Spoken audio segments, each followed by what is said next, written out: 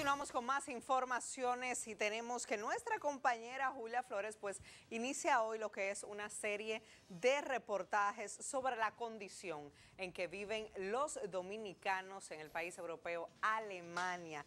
Así que tenemos con nosotros a nuestra compañera Julia Flores con detalles de esta cobertura. Paso contigo, adelante.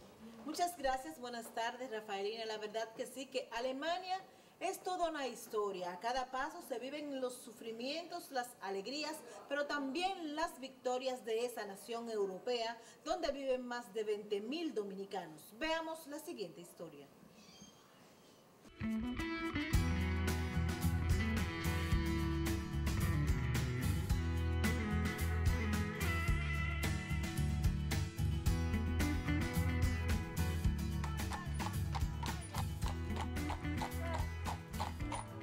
Cada paso por Alemania es un recorrido por los episodios que marcaron la historia de esa nación europea.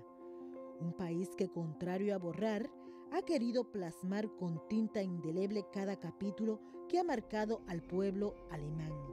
En la capital de Alemania, el muro de Berlín, que durante 28 años dividió familias que vivían en Berlín este y oeste, esas que por ideologías políticas se vieron obligadas, aunque cerca, a estar lejos, unas en la República Federal de Alemania y las otras en la Democrática. Cientos de personas visitan este lugar que con el paso de los años se ha convertido además de un patrimonio histórico de la nación en un atractivo turístico para que futuras generaciones puedan palparlo. En Berlín también está intacto el checkpoint, que fue el más famoso punto de chequeo de los pasos fronterizos del muro de Berlín y abría el paso a la zona de control estadounidense con la soviética. Hay que venir aquí para ver la magnitud de cómo esta ciudad se ha levantado. Por eso Europa ha sido, Alemania ha sido uno de los países más admirables de Europa. En la capital alemana también están la Puerta de Brandenburgo, que es el símbolo más importante, pues se representa el triunfo de la paz sobre las armas en esa nación. Y muy cerca de ahí, el Museo Judío de Berlín, que recuerda el holocausto en el que fueron asesinados entre 6 y 11 millones de judíos por el régimen nazi bajo el mando de Adolfo Hitler. Pero en Alemania no solo Berlín habla por sí sola de su historia. Dresden, capital de Sajonia en Alemania, es una zona destruida durante la Segunda Guerra Mundial y con bombardeos anteriores, además por un fuego hacia el año 1200, por lo que se denomina como la mil veces vencida y la mil veces renacida.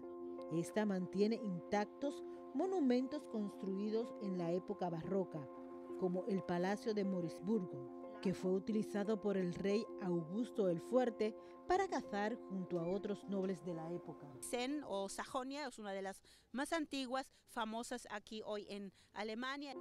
En la visita a Dresden también puede apreciarse el palacio de la corte de Augusto el Fuerte y justo al frente otro construido para su amante predilecta, Catalina, a quien encarceló por reclamar que su hijo ocupara la corona. A este rey se le atribuye haber procreado unos 200 hijos. Las eh, decoraciones corintias, eh, la pintura, las, las, columnas, las columnatas. Entonces así un poco se tienen que em, imaginar esos tiempos y esta ópera recuperada también. El complejo de palacio, el baño de las ninfas utilizado para orgías, la galería de arte de los grandes maestros y la iglesia de Nuestra Señora también imponen su majestuosidad con topes de oro y con una historia que forma parte de su atractivo y que hace que miles de turistas acudan a la zona. Uno no sabe hasta el día de hoy qué ocurría aquí, pero bueno, se imaginarán un poco lo que ocurría aquí, ¿no? Muy estimulante. Otras obras arquitectónicas que llaman la atención son la Ópera de Semper, la Plaza del Teatro y la Terraza de Brut, ubicada a orillas del río Elba.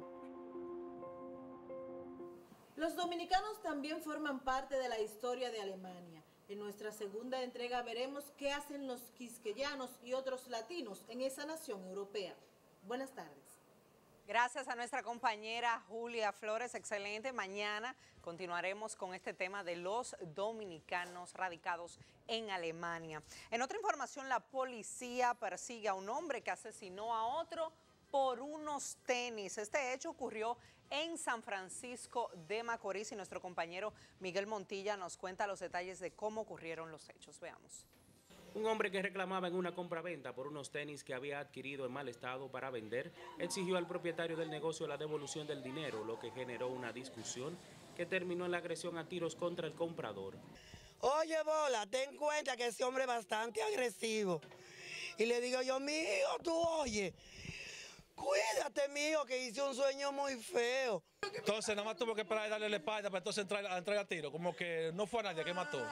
Se trata de Juan Miguel Hernández Torres, conocido como La Bola de 38 años, residente del sector San Martín en San Francisco de Macorís, quien murió al recibir múltiples heridas de bala, según informó la policía. Momento en que estos sostuvieran una calorada discusión por unos tenis que le habían dado a vender y esto salió eh, podrido.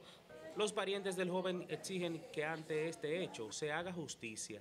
Por las rejas sacó la pistola, le dio un balazo primero ahí. Mi sobrino dijo, yo me voy, me voy y la mujer que estaban los dos. Cuando dijo que se va, que se va a montar el motor, le tiró tres disparos más, pam, pam, pam, pam, a quemar ropa. Es un criminal. La justicia de aquí, yo no creo en la justicia de aquí. La justicia la dará el Señor.